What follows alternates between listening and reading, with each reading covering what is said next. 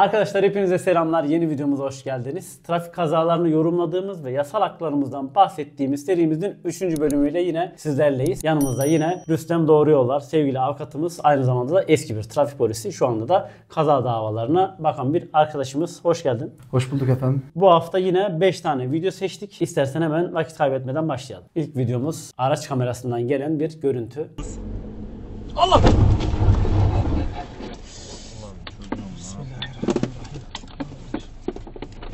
Zaten şurada doğrudan sarının yandığını görebiliyoruz. Sarının yanmasına rağmen maalesef ki ilerlemeye devam ediyorlar. Hem araba sürücüsü hem motosiklet sürücüsü. Ne yapıyoruz biz motosiklet sürerken? Omuz bakışı biliyorsunuz çok önemli. Omuzun üstünden sağa sola bakacaksınız. Belki de araç sürücüsünün duracağını düşündüğü için ben son dakika sarıda geçerim diye bir hamle yapmış olabilir. Dalgın da olabilir bilmiyoruz ama İlk etapta şöyle değerlendirebiliriz bunu. Siz de bahsettiniz. Işık kırmızıya dönüyor ve iki araç da geçmeye çalışıyor. Aslına bakarsanız Karayolları Trafik Kanunu 53. madde dönüş kurallarını düzenler. Yolun gidişe ayrılmış olan kısmının soluna yaklaşmaya, hızını azaltmaya mecburdur diyor Karayolları Trafik Kanunu. Burada sağdan sola doğru hamle yapan motosiklet sürücüsünün %100 kusurlu olduğunu öngörebiliriz. Diyeceksiniz ki kırmızı ışık ihlali var. Fakat olayın oluş örgüsü itibariyle her iki araç içinde kırmızı ışık ihlalinin kazada etken bir sebep olmadığını düşünüyorum. Bu sebeple motorcu arkadaşımız maalesef aracın önüne sola manevra yapmak suretiyle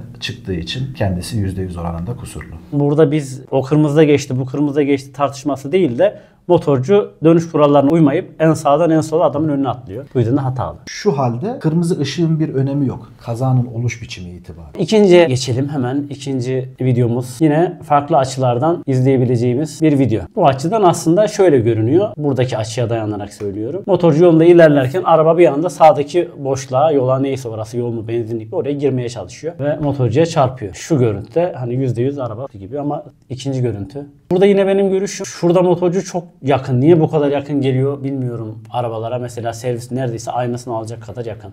Ya da açıdan mı böyle diyeceğim ama. Şimdi burada da kusur tabii ki arabada diye düşünüyorum. Evet sizi dinleyelim. Aracın yaptığı şey halk tabiriyle şerit tecavüzü. Şerit değiştirme ve izleme kurallarına uymamak. Karayolları Trafik Kanunu 46.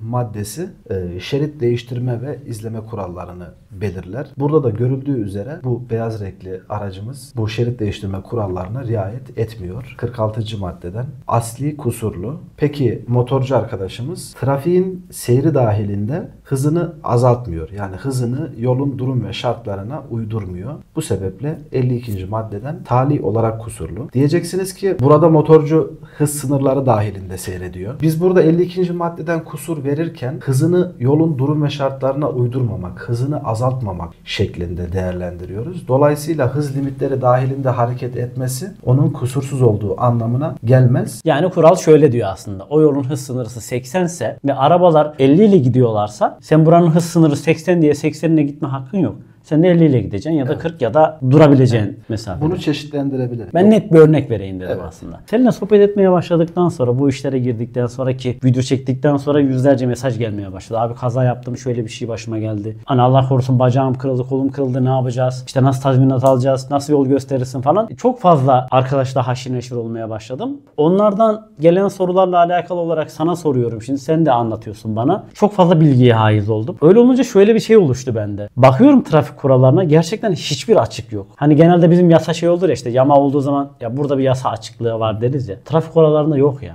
Öyle bir düzenlenmiş ki. Evet. O zaman diyor böyle bu maddeden böyle kullanacaktın. O zaman şu maddeden şöyle diyor yani. Tam böyle her şey oturmuş. Biz o kurallara tamamen uyduğumuz sürece kaza olmasının imkanı yok. Karayolları Trafik Kanunu çok detaylı. Karayolları Trafik Yönetmeliği çok detaylı. Açık bulabileceğimiz noktalarda dahi İlla ki olur ama torba maddeler var. Gerçekten arkadaşlar kurallara uyduğumuz zaman özellikle şu 52. madde var ya uyduğumuz zaman zaten %90 kazaları kavşak kazaları falan hepsini E bu hepimizin malumu değil mi? Zaten kazaların başlıca sebeplerinden biri de hız değil mi? Kesinlikle. Geçiyoruz 3. bölüme. Bu arada izlettiğimiz videolarla alakalı sizlerden de yorumlar bekliyoruz. Tabii hani benim görüşüm şöyle. Böyle olsa olmaz mıydı? Ya da burada evet böyle ama şöyle olsaydı nasıl olurdu gibi sizin de sorularınız, yaşadığınız olaylar, sıkıntılar ya da yaşadığınız kazalar ya da elinizde varsa görüntü, kaza görüntüleriniz falan onlar da bize gönderebilirsiniz. Yani Allah korusun ama bundan sonraki yapacağınız kazalarda da yine bize yazarsanız mümkün olduğunca ben de size destek olmaya çalışırım. Devam ediyoruz. Yine bir güvenlik kamerası. Bu kaza çok çok ilginç. İzliyoruz. Arabalar gidiyor, geliyor ve bir anda Toros'ta kafa kafaya giren bir motosiklet kullanıcısı görüyorsunuz. Şimdi bu nasıl oldu diye anlık olarak düşünüyor olabilirsiniz. Önce yolu analiz edelim. Şu gördüğümüz şahsın bulunduğu kaldırıma kadar olan kısmı park için ayrılmış kısım olarak değerlendirebiliriz. Şuradaki iki şeridi gidiş için ayrılmış yol iki şeritli. Ortada yine refüj var ve karşıdaki yolda Geliş. geliş, için ayrılmış bir yol. Bak araba hala görünüyor mesela bak. Bir, iki. Nereden geldi o ya? Öyle ya da böyle tersten geliyor. Ve burada da ben şunu anlamıyorum yine. Yine anlamıyorum. Motorcu arkadaşlar. Şurada bu arabayı görmüyor mu bu arkadaş? Motorcu arkadaşımız da çok hızlı. Araç hızlı. da çok hızlı. Şimdi burada kusur Toros'ta. Evet. Ama arkadaş çok hızlı. Evet. Arkadaşın çok hızlı olması kusur çıkarır mı motorcuya? Hayır. Çünkü burada kat'i surette ters yönden gelen bir araç var. Karayolları Trafik Kanunu 46.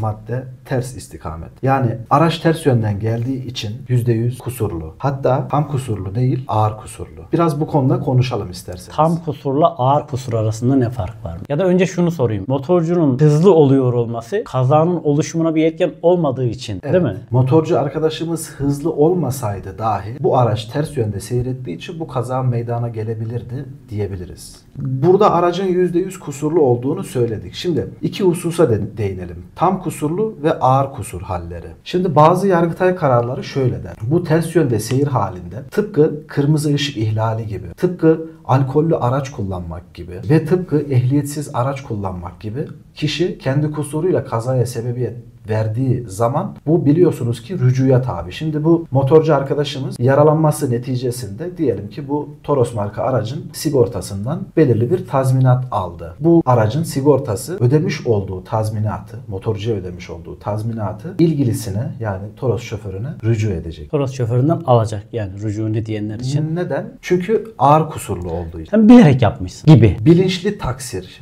Taksir bilinçli taksir ayrımı. Yani sen bu kazanın ters yönde giderek olacağını öngörebilirsin demek. Zaten taksir kelimesi olmasa bayağı kasıtlı adam yaralamaya gider. Bana katılıyor musunuz bilmiyorum. Bence böyle kazalarda taksir kelimesinin çıkarılması lazım. Bence direkt adam yaralama. Cinayete teşebbüs. Ya sen bile bile ters yöne girmişsin ki karşıdan gelen arabadan da yol isteyerek giriyor. Ceza hukukunun Baştan yazarım. Ceza hukukunu baştan yazarım. bir yaralama meydana geldiğinde taksir, bir büyük aşaması bilinçli taksir, bir büyük aşaması olası kast ve Ha, aşamaları daha var büyüğü de doğrudan kast Hmm. şeklinde dört aşamada inceliyoruz ve her biri farklı cezayı gerektiriyor. Ha, bu da çok mantıklı. Bayağı iyiymiş bizim sistemi aslında ama uygulamada pratikte biraz Hukuk sistemimiz çok güzeldir. Çok güzel ama pratikte biz sıkıntılıyız. Ters yön, ehliyetsizlik, alkol bunlar herhangi birine zarar verdiğinizde sigortanızdan para ödendiğinde onu sizden sigorta söke söke alıyor. Bu arada tazminat ve rücu kısmını işlediğimiz videoyu sağ üst köşeye bırakabiliriz. Hepsini izleyin. 6 bölüm videomuz var. O videoları kesin izleyin arkadaşlar. O videolar sizin şey gibi değil bak. O videolar sizi bilinçlendirir, size bilgi verir falan değil. Sizin hayatınızı kurtaracak videolar bak. Onun bir eşi daha yok YouTube'da. Dördüncü videoya geçiyorum. Yine bir güvenlik kamerası. Bakalım neler olacak. İzliyoruz. Araba geldi. Güzel. Çat diye girdi. Öteki de geri geri geliyor. Motorcu arkadaşımız yine. Yani ülkede son zamanlarda dalgınlık mı fazla, boş vermişlik mi arttı? Yani yine burada ben yine şuna geleceğim. Gözümüzü yoldan ayırdığımızda neler olduğunu görüyoruz. Mesela şuradan. Bu bizim gördüğümüz açı. Ki motorcu direkt geldiği için daha geriden bu arabayı görüyor olması gerekiyor. Siz bundan bahsederken ben aslında biraz önce şunu düşündüm. Çarpan arkadaşımız görüldüğü üzere kurye ve saatlerce çalışan ve iki tekerin üzerinde motor süren bir emekçinin algısının Kapanıyor değil mi? kaybolmaması mümkün değil. Ya bu mesela kaçıncı saati çalışıyor şu anda? Kusur kimde? Kusur yine araçta. Motorcuda da var. Yine 75-25 mi olur burada? Karayolları Trafik Kanunu 67. madde araç manevralarını düzenler. Geri geri gitmek için izin verilen hallerde bu manevrayı yapacak sürücüler tehlike veya engel yaratmamak zorundadır. Motorcu da 52'den. Evet, motorcu da 52. Son ve içlerinden en ilginç görüntülerimizden bir tanesi. Ben buna çok önem veriyorum. Burada konuşacaklarımıza özellikle en sona bıraktık bir de bunu. Muhtemelen ilk baktığınızda gözünüze çarpan şey arka taraftaki parktır değil mi? Park olursa ne olur? Çocuklar olur. Çocuk olursa ne olur? Her an her şey olabilir. Ya da izledikten sonra konuşalım. Şöyle biraz geri alayım. İzleyelim öyle konuşalım. Parkta çocuklar oynuyor.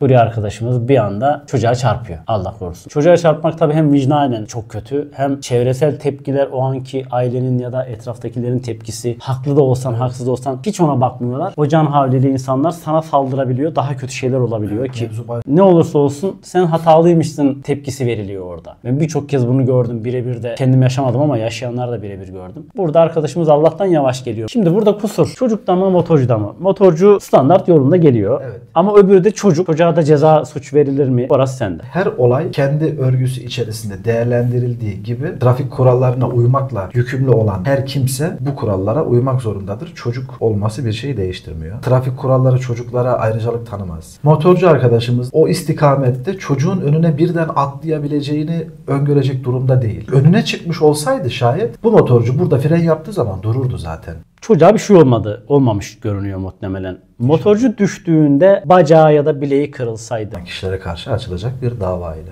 Çocuğun ailesine. Evet. Videolarımız bitti. Aslında bu bölümde çoğunlukla şunu gördük sanıyorum. Yapılan hatanın kazanın oluşumuna etkisi var mı yok mu? Biraz bunu incelemiş olduk. Bu kendiliğinden istediğimiz bir şey değildi ama sanırım öyle bir video oldu değil mi? Evet sonucunda böyle bir kanıya vardık gibi. Ben seviyorum böyle konuları. Sabah kadar konuşurum. Kazaları hayatımızın bir gerçeği ve e, ne yazık ki son yılda 400 binden fazla yaralanmalı trafik kazası meydana geldiğini biliyorum. Araç sayısı da arttı. Diploma sayımız artsa da eğitim seviyesi kalitesinin düştüğünü düşünerek trafikteki saygı ve sabır azalınca kaza oranları da arttı. Var mı ekleyeceğim bir şey? Teşekkür ederim. Güzel bir video oldu. Arkadaşlar videomuzun sonuna geldik. İzlediğiniz için teşekkür ediyoruz. Sonraki videolarda görüşmek üzere. Hoşçakalın. Hoşçakalın. Kazasız sürüşler diliyorum.